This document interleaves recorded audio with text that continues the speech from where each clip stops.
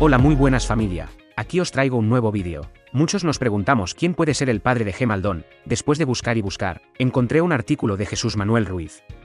Y pone, A poco de llegar Ana María Aldón a Madrid a vivir en el domicilio de José Ortega Cano, la madre se trae a su hija a estudiar a la capital. A Gema no le interesa la formación y decide dejarla pronto. En aquel momento las discusiones son constantes.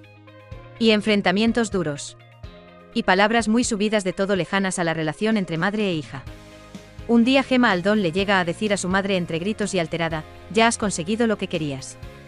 Un tío rico y con casa grande. En cambio el mío era gitano. Gema lo comenta sin parpadear.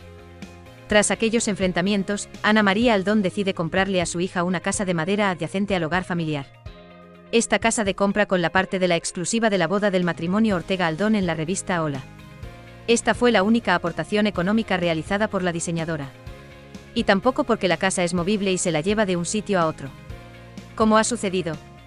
Ortega Cano siempre se mantuvo en silencio con la nefasta relación que existía entre madre e hija. Ayudó a Gema en lo que pudo. En todo. En aquel momento Ana María Aldón no tenía posibles. Durante el tiempo de la casa de madera en el recinto del domicilio familiar de Ortega Cano y su mujer, varias veces tuvo que personarse la policía con los perros. Estas cosas aún no las ha contado Gema Aldón. por lo que se ve, Gema y Ana María no tenían una buena relación, no como predican. Solo el único detalle que dejan ver es que el padre es gitano y que no tenía dinero. ¿Algún día descubrirán quién es el padre de Gema Aldón? ¿Por qué esconden el pasado? ¿Hay algo gordo y por eso lo esconden? Dejarlo en comentarios y los leeré atentamente. Darle like al vídeo para apoyar al canal y si eres nuevo o nueva en el canal suscríbete para enterarte de todo. Hasta aquí el vídeo de hoy. Un saludo familia, chao.